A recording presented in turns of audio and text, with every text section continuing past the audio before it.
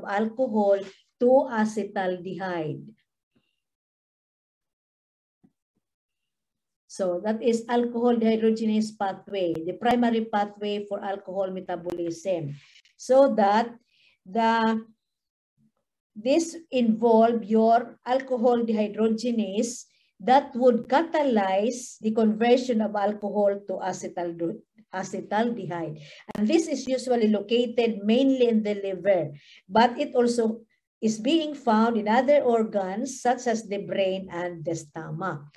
So during conversion of ethanol to acetaldehyde, hydrogen ion is transferred from alcohol to its cofactor, which is nicotinamide adenine dinucleotide, or your NAD, to form your NADH.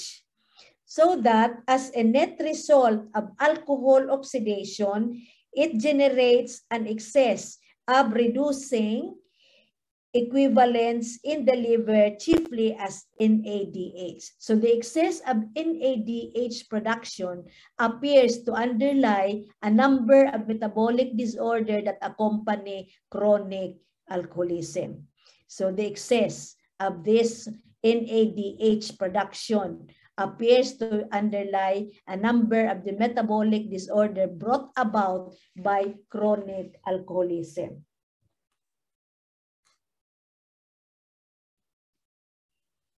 So the next pathway is your microsomal ethanol oxidizing system or your MEOS. So this is also known as mixed function oxidase system. So during chronic alcohol consumption, your microsomal ethanol oxidizing system activity tends to increase so that chronic alcohol consumption results in significant increase not only in ethanol metabolism but also in the clearance of other drugs eliminated by hepatic microsomal enzyme system. So during chronic alcohol consumption, this pathway, your MEOS activity, not only ethanol metabolism is being increased, but also in the clearance of other drugs that depends on your hepatic microsomal enzyme system. So that is one results in significant increase not only in ethanol metabolism, but also in the clearance of other drugs, which is being eliminated by your hepatic microsomal enzyme system. So before we go to that, other inducing drugs such as your barbiturates may also enhance the rate of blood alcohol clearance. So barbiturates enhances the rate of blood alcohol clearance. This pathway is not the primary pathway for ethanol metabolism. So acetaldehyde metabolism. Acetaldehyde appears to be oxidized in the liver. This is the product of this metabolism, this reaction is acetate, which can be further metabolized to carbon dioxide and water. So in chronic alcohol consumption, this would decrease the rate of acetaldehyde oxidation in an intact mitochondria. So chronic alcohol alcohol consumption decreases the rate of acetaldehyde oxidation in an intact mitochondria. So disulfiram, this is the drug that has been used to deter drinking by alcohol-dependent patients undergoing treatment. Disulfiram inhibits the oxidation of acetaldehyde. So this drug inhibits the oxidation of acetaldehyde. So when ethanol is consumed in the presence of disulfiram, acetaldehyde accumulates. So ethanol. When ethanol is consumed in the presence of this drug, disulfiram acetaldehyde accumulates. And the accumulation of your acetaldehyde causes an unpleasant reaction of facial flushing, nausea, dizziness, and headache. So this when ethanol in the presence of disulfiram acetaldehyde accumulates. So accumulation of your acetaldehyde would produce unpleasant reaction of facial flushing, nausea, dizziness, and headache. So this reaction also could also be seen in the presence of those with genetic deficiency of the mitochondrial form of acetal of aldehyde. So aldehyde dehydrogenase. So genetic deficiency of the mitochondrial form of aldehyde dehydrogenase, this reaction can also be seen. So when this individual drink alcohol, they develop the same reaction as this reaction of facial flushing, nausea, dizziness, and headache. So we come now to the pharmacodynamics of acute alcohol consumption. First, in the central nervous system. So, alcohol causes sedation and relief of anxiety. So, just like your sedative hypnotics, at low to moderate concentration, it causes sedation and relief of anxiety. But at high concentration, this would result to slurring of speech, ataxia, impaired judgment, and disinhibitory behavior. So this, this, this inhibitory behavior, this is now a condition called intoxication and drunkenness. So for chronic drinkers who are tolerant to the effects of alcohol, much higher concentration are reached to elicit these CNS effects. So chronic drinkers, they develop tolerance. So as a result of tolerance, they require a higher concentration before this manifestation of the CNS effects. So we come now to the blood alcohol concentration and the clinical effects in a non-tolerant individual. So at a concentration of 50 to 100 milligrams per deciliter, the clinical effect is sedation, subjective high, slower reaction times.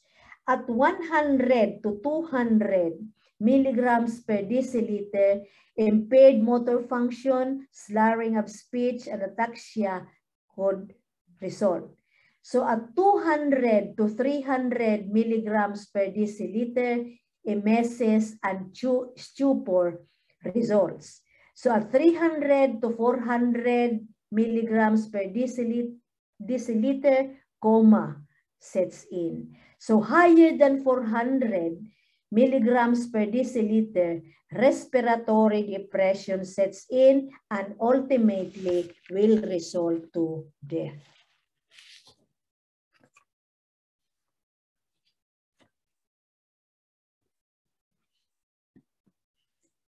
So, on the central nervous system, acute alcohol exposure tends to enhance the action of GABA or gamma aminobutyric acid.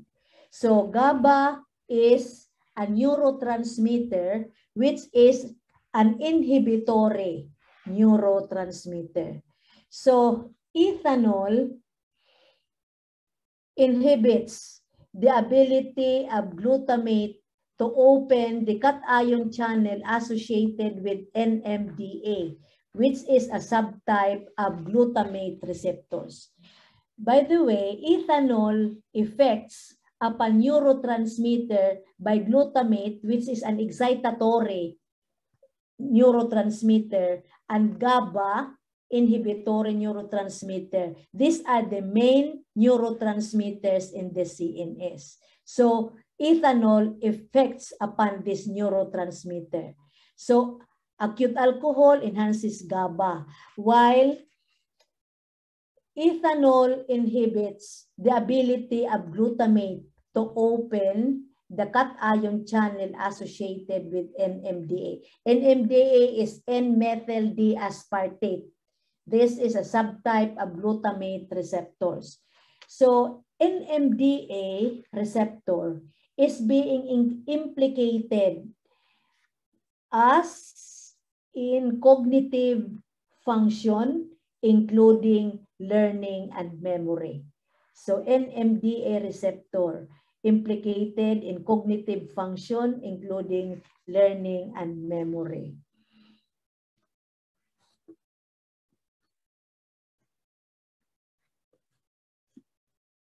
So before we go to the effect on the heart, we have this so-called, I think you have heard about blackouts. Blackouts, these are period of memory loss that occurs with high levels of alcohol.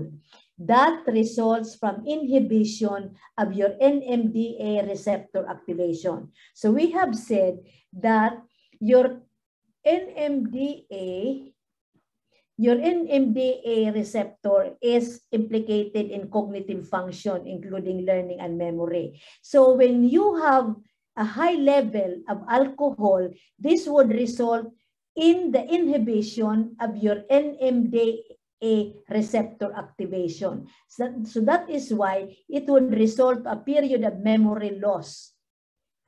Then, before, it was believed that ethanol's primary effect is disruption of your biologic membrane through reduction of lipid viscosity or your so-called fluidization theory. But recently, it has been suggested that the pharmacologically relevant action of ethanol results from a direct selective interaction with proteins that mediate transmit membrane signaling such as your receptor-gated channels. So it is here. It inhibits the ability of glutamate to open the cation channel So it is now involved in receptor-gated channel rather than disruption of your biologic membrane through reduction of lipid viscosity. So we come now to the next organ, which is the heart. Alcohol's alcohol effect on the heart, it would depress myocardial contractility in individuals who actually consume moderate amounts of alcohol. That is blood concentration greater than 100 milligrams per deciliter. By impairing your or altering myocardial stores of catecholamines by acetaldehyde. So the effect of the of alcohol in the heart is due to the impairment or altering myocardial stores of catecholamine by acetaldehyde. So depression of myocardial contractility. That is in patients who actually consume moderate amounts of alcohol. So in the smooth muscle, ethanol is a vasodilator. So as a result of both CNS effects, which is depression of your vasomotor center and a direct smooth muscle relaxation by its metabolite acetaldehyde. So a vasodilator. And this vasodilating effect is a result of both CNS effects, which is a depression of your vasomotor center and a direct smooth muscle relaxation by the metabolite acetaldehyde. So in overdose, it causes hypothermia caused by vasodilatation. So in overdose, it causes hypothermia caused by vasodilatation. It is said also to relax the uterus given through IV and which is used for suppression of premature labor. But this is before the introduction of a more effective and safer uterine relaxants, which are your calcium blockers, magnesium, and your beta-2 adrenoreceptor stimulant. So this has been used, alcohol has been used before to relax the uterus for the prevention of premature labor. But not recently, it has been replaced by a more effective and safer uterine relaxants, which are your calcium channel blockers, your magnesium, and your beta-2 adrenoceptor stimulants. So we come now to consequences of chronic alcohol consumption. This profoundly affect the functions of several vital organs, particularly the liver, the nervous system, the gastrointestinal, and the cardiovascular system. So we have a direct toxicity of ethanol. The disruption in metabolism caused by chronic consumption of alcohol in large quantities contributes to organ toxicity, malnutrition, and vitamin deficiencies. So the underlying cause of this organ toxicity, malnutrition, and vitamin deficiencies is due to the disruption in metabolism caused by chronic consumption of alcohol in large quantities. So we come to the liver and the gastrointestinal tract. Liver disease is the most common medical complication of alcohol abuse.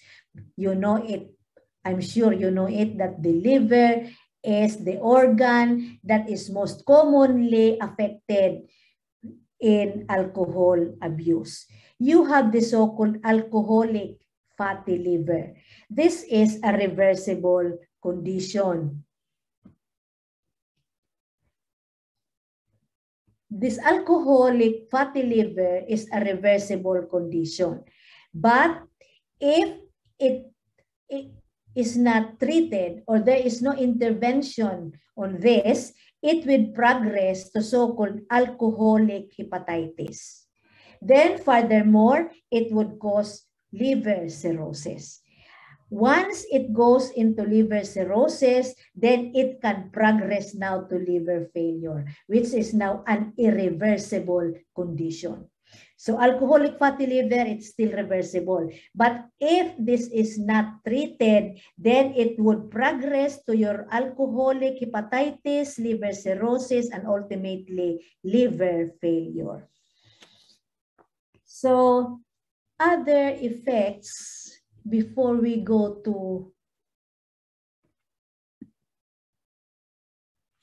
before we go to nervous system the increased NADH to NAD ratio that results from the oxidation of ethanol, which we have mentioned earlier, then it would result to reduced gluconeogenesis so that hypoglycemia and ketoacidosis would also result.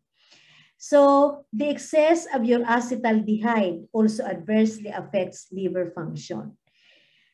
In itself is a very reactive compound. Your, your acetaldehyde in itself is a very reactive compound that has many toxic effects.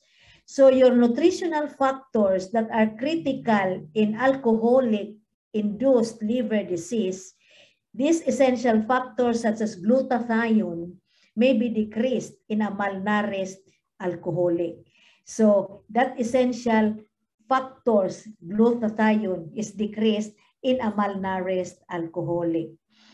So women appear to be more susceptible to alcohol hepatotoxicity than men. And it is said, the explanation is that it may be hormonal. So another thing, your ingestion of alcohol increases gastric and pancreatic secretion. So that this is the reason that because of this, it would alter mucosal barrier. So that the risk of gastritis and pancreatitis is enhanced. So alcohol reversibly injures the small intestine that sometimes it, would result to diarrhea, weight loss, and multiple vitamin deficiencies. So those are the effect of your alcohol on the liver and the GIT. So we come now to the nervous system. Consumption of alcohol in high doses over a long period would result to tolerance and physical dependence. So when you have tolerance, as a, result of high doses of your alcohol, it would require higher, higher requirements of alcohol. While physical dependence, when it sets in, there would now withdrawal symptoms upon discontinuance of this drug. So we have now neurotoxicity.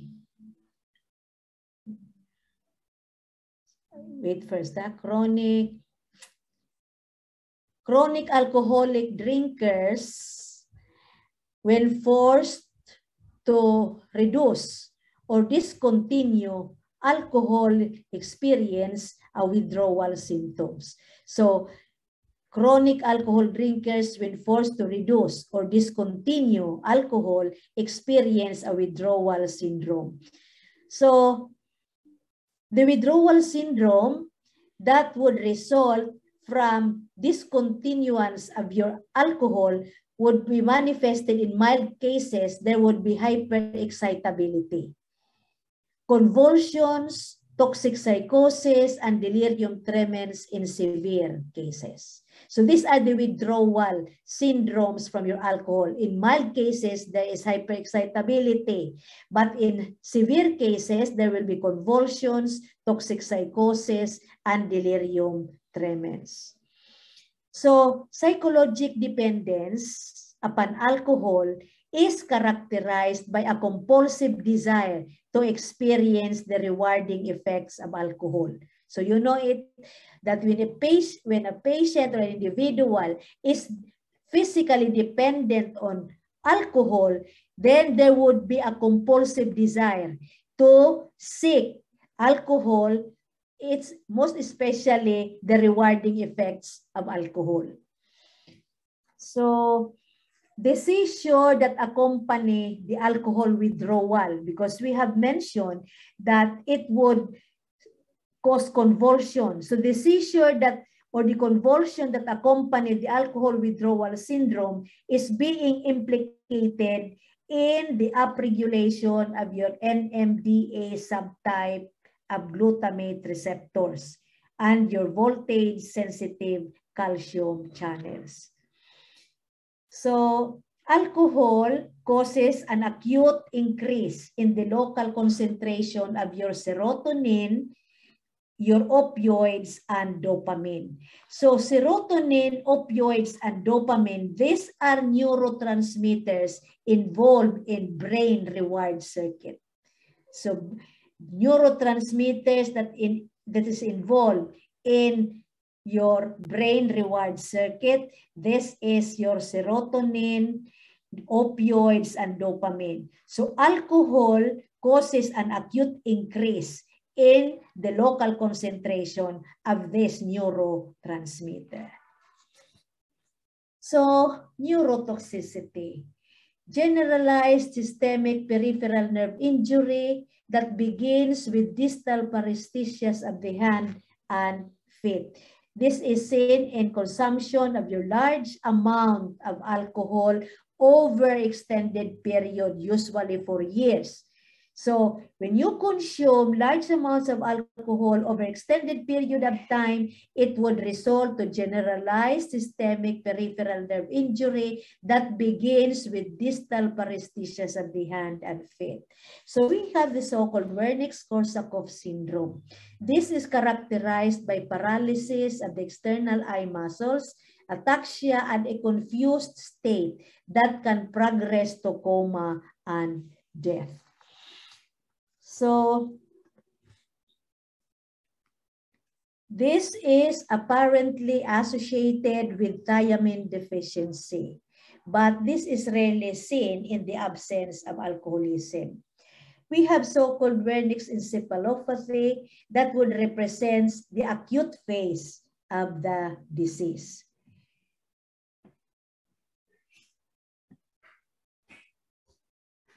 So with regards to this, individuals having this Wernicke's encephalopathy would should re receive thiamine therapy.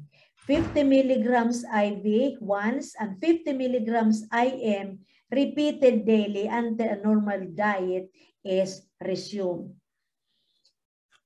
So we have also Korsakoff's psychosis. This is a chronic disabling memory disorder. So these are the condition that would result from your thiamine deficiency as a result of consumption of large amounts of alcohol, your Wernicke-Korsakoff syndrome, your Wernicke encephalopathy, and your Korsakoff psychosis. Now we come now to the cardiovascular system. Heavy alcohol consumption of long duration is associated with a dilated cardiomyopathy with ventricular hypertrophy and fibrosis. And this would induce a number of changes in the heart cell. So heavy drinking is associated with both atrial and ventricular arrhythmias. So this would reflect abnormalities of potassium and magnesium metabolism as well as enhanced release of catecholamines. So this effect on the cardiovascular system reflects abnormalities of potassium and magnesium metabolism as well as an enhanced release of your catecholamines. So it is said that the incidence of coronary artery disease in both men and women has been found to be lower in patients who consumes about moderate alcohol than those who totally abstain. Why? The reason is that the mechanism to explain this protective effect is alcohol's ability to raise the serum level of high density lipoprotein cholesterol, which is your, your good cholesterol. So this form of cholesterol appears to protect against atherosclerosis by removing free cholesterol from the arterial wall, but only a, not in high or large consumption of alcohol. In moderate consumption of your alcohol, when you take alcohol just moderately, it is said that it has a protective effect on your cardiovascular system than those who do not take alcohol at all because alcohol tends to raise the level of your good cholesterol or your high density lipoprotein cholesterol that appears to protect against atherosclerosis. So next is the blood. The common hematologic disorder seen in chronic drinkers is mild anemia resulting from alcohol-related folic deficiency. So abnormalities one effect also on this on the blood, abnormalities in platelet and leukocytes. So this effect may account for some of the hemostatic impairment and increased frequency of infection in patients who are alcoholic. So it impairs your platelet and leukocytes. So the net effect is hemostatic impairment and increased frequency of infection in patients who are considered to be chronic alcohol drinkers. Now we come now to the endocrine system and electrolyte balance. So in chronic alcohol use, there are reports of gynecomastia and testicular atrophy in alcoholics with cirrhosis. And this suggests derangement in steroid hormone balance. Derangement in steroid hormone balance. So alcoholics with chronic liver disease may have disorder of fluid and electrolyte balance. So resulting in ascites, edema, and effusion.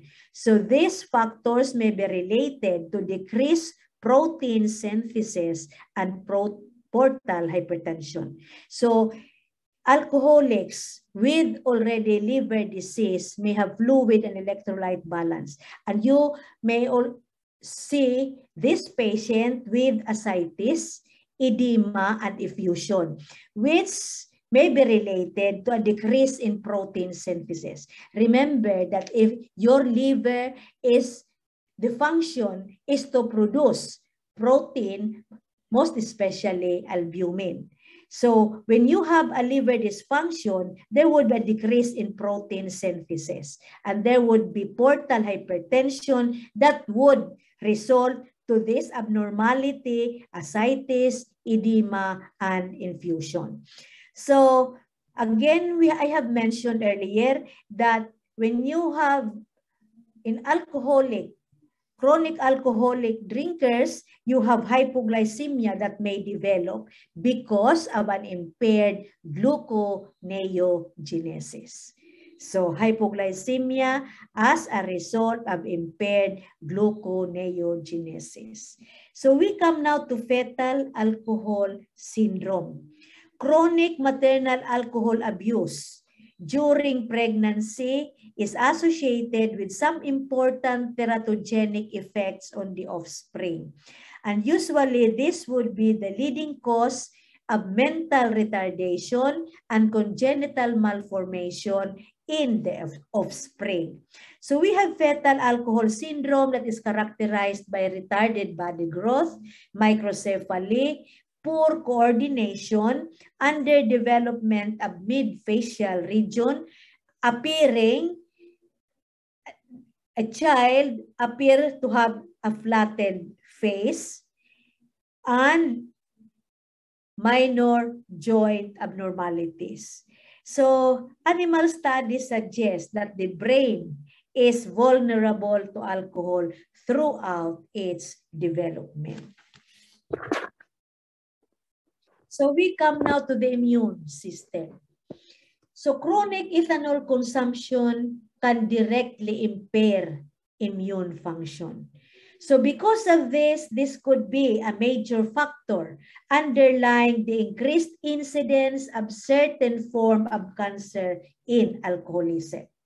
So you will notice that if you have an alcohol drinker or alcohol in a drinker for a quite a long period of time. So immune function is being impaired. So the net result of this is it would increase the incidence of cancer.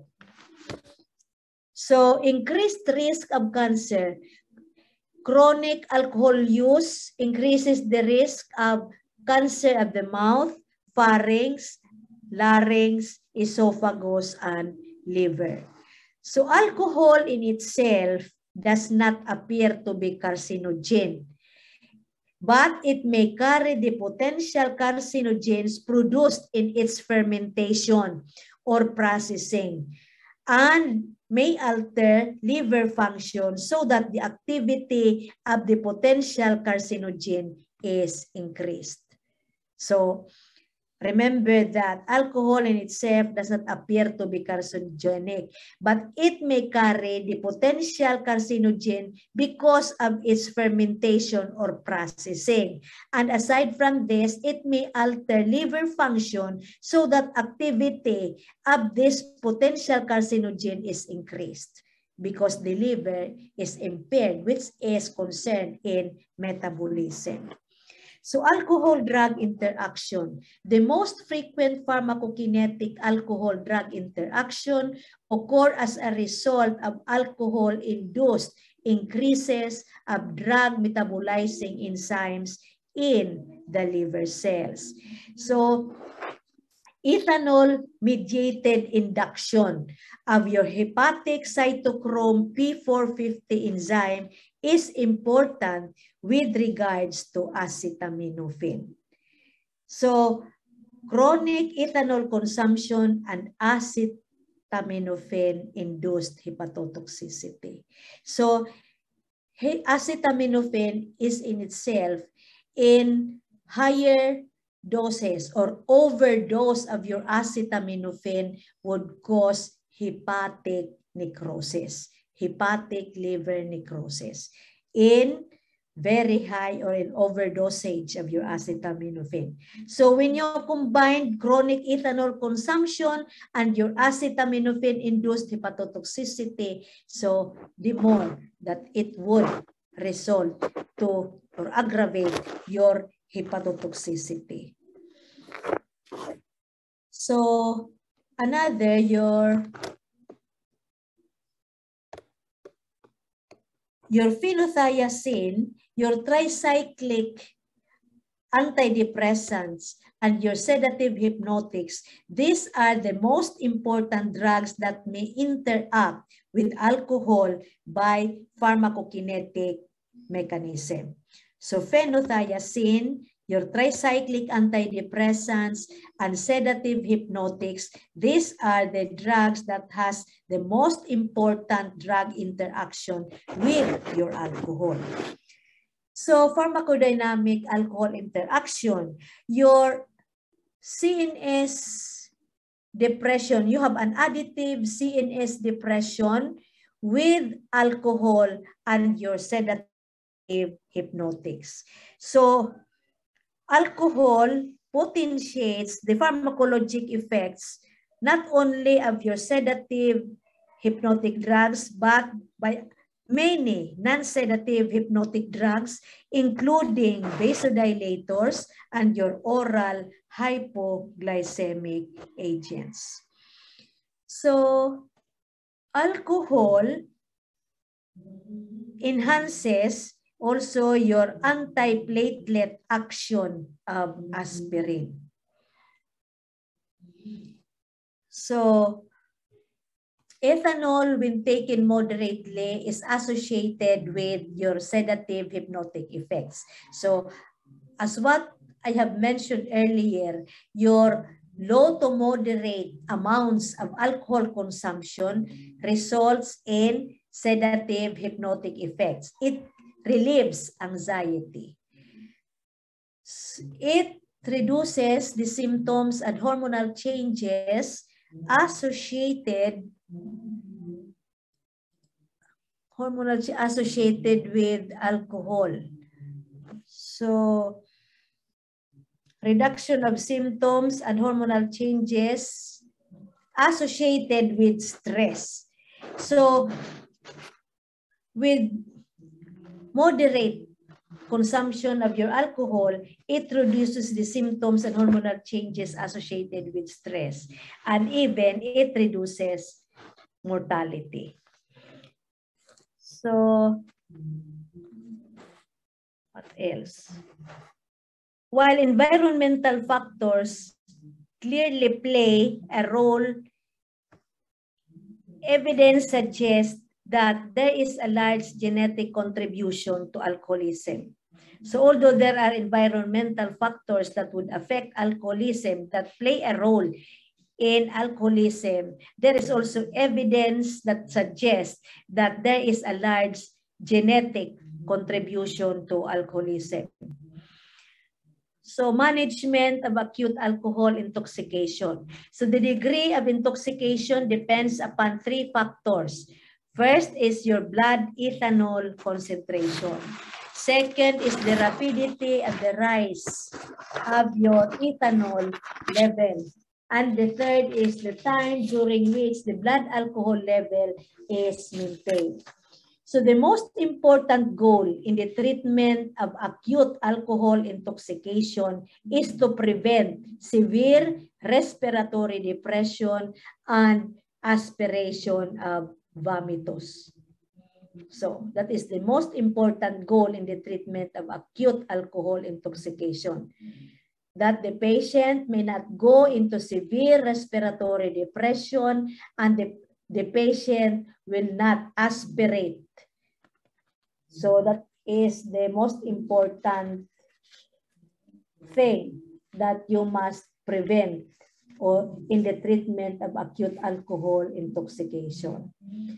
So metabolic derange, metabolic alteration may require treatment of hypoglycemia.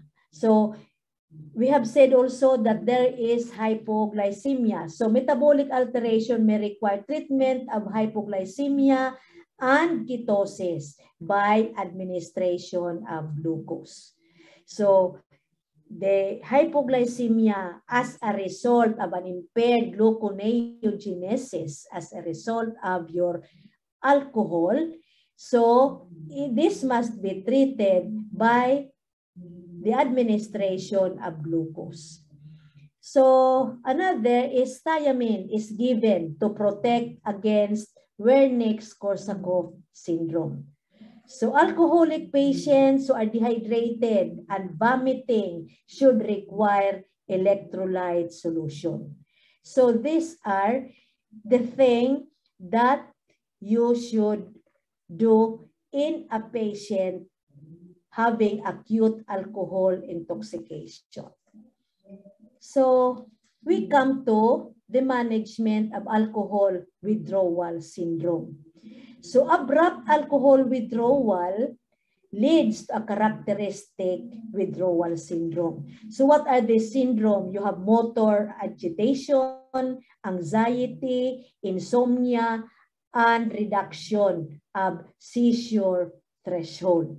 So in its mildest form, the alcohol withdrawal syndrome of tremor, anxiety, and insomnia usually occur 6 to 8 hours after alcohol is stopped.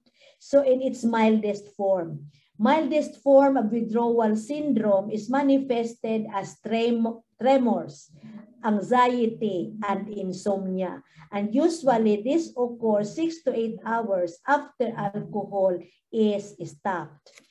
So in its severe form, there will be now visual hallucination, total disorientation, and marked abnormalities of vital signs will occur. So it is in its severe form. There would be visual hallucination, total disorientation, and marked abnormalities of vital signs will occur. So alcohol withdrawal is one of the most common causes of seizure in adults. So usually that is the most common cause. So the major objective of drug therapy in alcohol withdrawal is to prevent seizure. Preventive, preventive of seizure, delirium, and arrhythmias. Not delusions. Please, ano, may corrections. The major objective of drug therapy in alcohol withdrawal is to prevent seizure, delirium, and arrhythmias.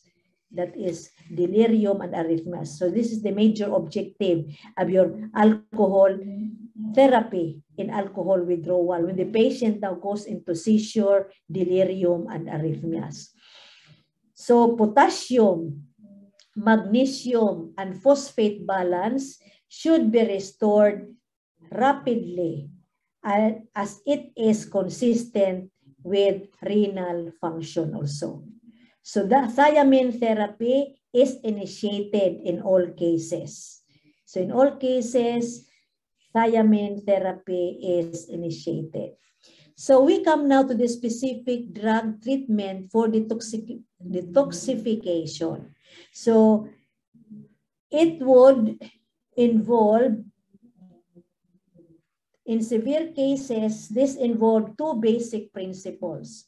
So these two basic principle is substituting a long-acting sedative hypnotics for alcohol and then gradually reducing or tapering the dose of this long-active sedative hypnotics. So we have benzodiazepine. Benzodiazepine are considered, is considered to be the preferred drug for treatment because of its wide margin of safety for the treatment of alcohol withdrawal syndrome. So your benzodiazepine is preferred. So, that's it. Before we end, the long-acting, the long-acting benzodiazepine has the advantage of less frequent dosing. And so because of less frequent dosing in itself, they provide a built-in in tapering effect because of their pharmacologically active metabolites are being eliminated slowly. So the disadvantage of your long-acting drug is that their active metabolite may accumulate, especially in patients with compromised liver function. So again, so your benzodiazepine are the preferred drug for treatment because of its wide margin of safety. So what type of your benzodiazepine, your long-acting benzodiazepine has the advantage, since they have the advantage of less frequent dosing, in itself, they provide a built-in tapering effect because of their pharmacologically active metabolite are being eliminated slowly. So this is the second principle of gradually reducing, tapering the dose of your long-acting drug. The disadvantage, however, the long-acting drug is that the active metabolite may accumulate, especially in patients with compromised liver function. If your if you have your individual or the patient have a compromised liver function, the disadvantage of your long-acting drugs because there would be an, an accumulation of the active metabolite. So your short-acting drugs such as lorazepam and oxazepam are especially useful in alcoholic patients with liver disease. So since you have a patient with liver impairment, the alternative is to use lorazepam or oxazepam, although these are sh short-acting. But if you have to compare your the risk and the benefit, so you have if you have patient with liver impairment, you have to resort yours to short-acting diazepam, which is lorazepam, lorazepam and oxazepam, because you will not have an accumulation of your active metabolite.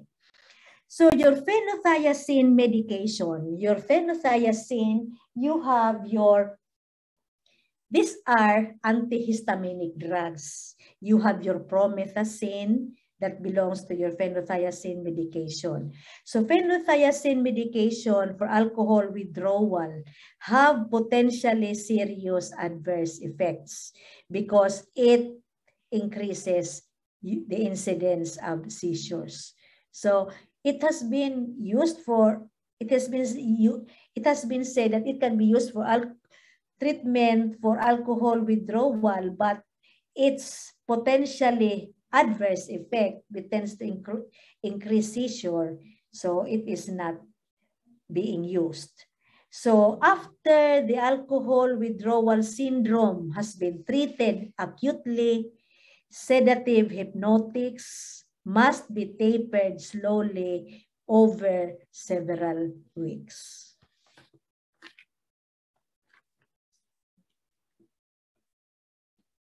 So that ends our alcohol.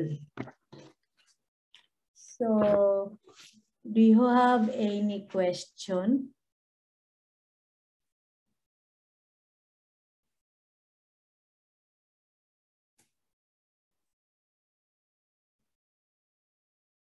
Hello?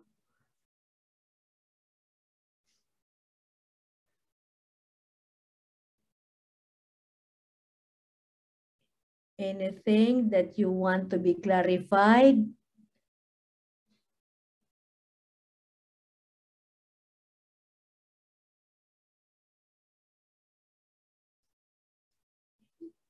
Hello.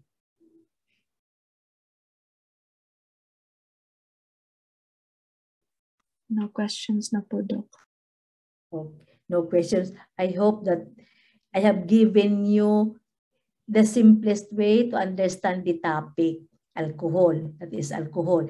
The next topic that we will have is, do you know the topic that the next topic that we will take up for tomorrow? Anti-seizures po, Doc.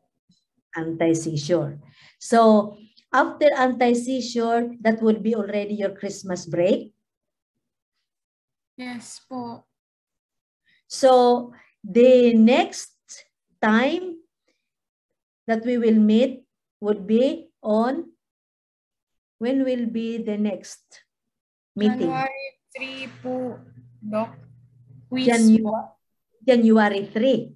Opo, quiz po. That is a Monday. Opo. So, that is quiz. Yes po, Doc. So, quiz covering alcohol and anti-seizure drugs. Yes po, Doc. Okay. So, thank you for your time. Thank you for listening. And I hope I have given you something to learn about alcohol. Okay, thank you, Yumi now. Cool. Thank you, Doc. Thank you, Doc. Thank you, Doc.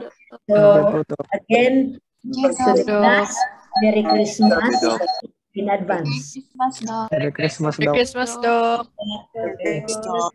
Merry Christmas, Doc. Merry Christmas, everybody.